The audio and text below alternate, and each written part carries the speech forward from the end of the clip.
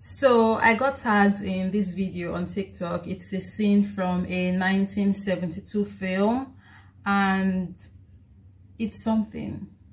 That's how I can describe it.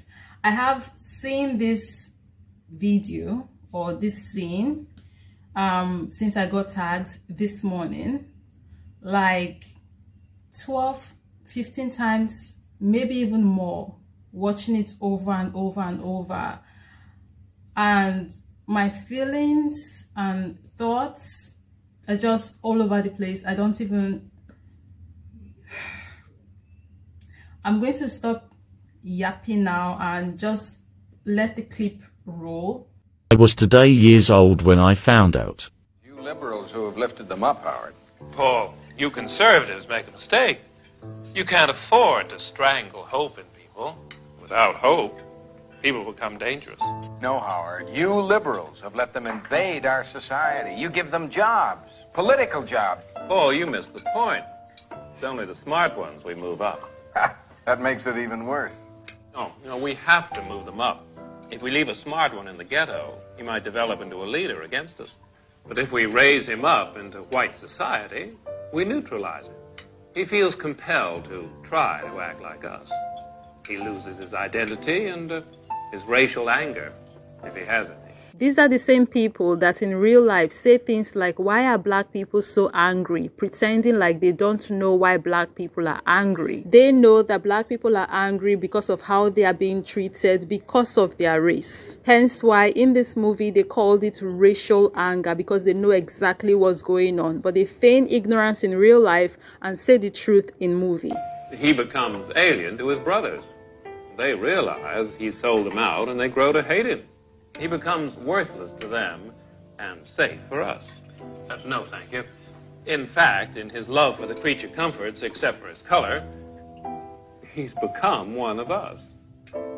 That last line that's how they get us all the time. Selfishness, self-hate, and lack of love for our people in general all have to be present at the same time for them to be able to use us. It's the fact that, first of all, there is no difference between conservative and liberals. This is a tactic they use in real life being displayed in a film like this the divide and conquer it's it's an old tactic but but the fact that they, they put it in movies that was the that's why they say not all skin folks are kin folks right? Jack says and literally these are their practices as we breathe today.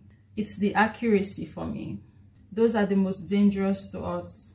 Emerald says they are truly talking about obama Watson 88 says, Never trust the elite or anything they give you. They are not us, they are themselves.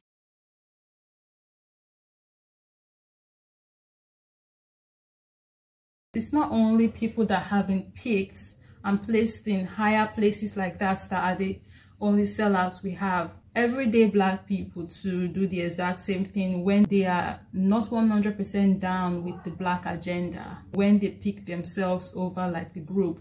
It's, it's the little things you do like making decisions that would benefit only you. I would give an example. I've had a friend um, tell me that i should not make the kind of videos that i make because it could affect my progress in life when maybe certain things want to come up for me or certain things that could come up for me my videos could hinder me enjoying those benefits.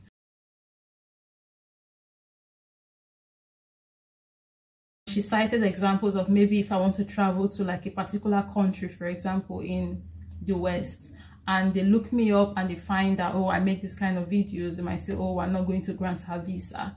It's up to me to decide if I want to pick myself over like my people in general. And I get that you, you know, you want to do stuff for yourself, but there are like little decisions you make or we make and little things we do that may not be as grand as those ones that have been picked and taken to the top um, would make that affects like greatly, more greatly but there are little little decisions that we make on a daily basis that play into the play into the game i would say. It's, it's the little droplets of water that eventually fills the bucket or fills the drum. So when we individually are dropping out little little drops of you know selfishness for our own benefit the bucket or the drums fills up and then it affects like more people I don't know if I just made any sense. I read somewhere or heard someone say this. So if they were never for black people before they attain all they presently have, they are not going to automatically now be for black people now that they've attained it. I feel like the only way for us to get there, the place where we are not going to be having sellouts or having people that are going to be fished out from the community and used as tools against the rest of the communities for us to have power.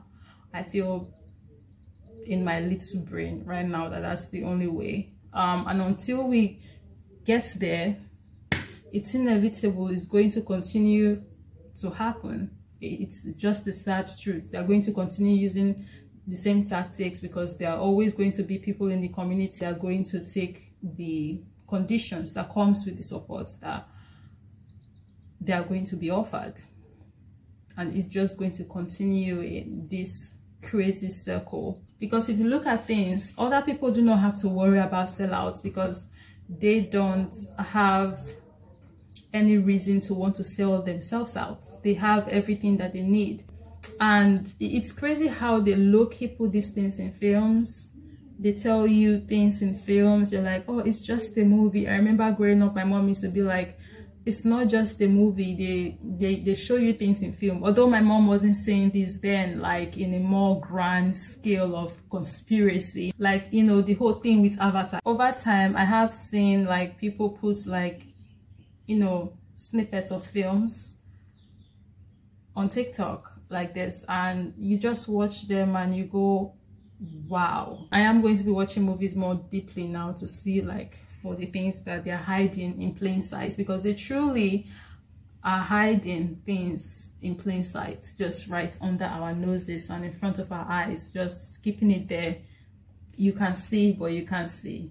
Kind of situation like it's it's it's crazy. So guys that's it. Um i just wanted to bring this to the channel. Saw it this morning. It really made me think made me feel certain kind of way that i cannot put to words. You guys saw how like all over the place i was. Yeah what do you think about them hiding like clues facts and all that in movies? This is something they've been doing for years now. I mean this movie is from the 70s 72 to be specific.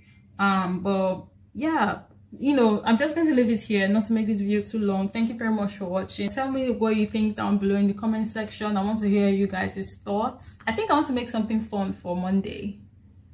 At this point i must confess i'm doing those fun videos for me because my mental health is really i need a balance okay?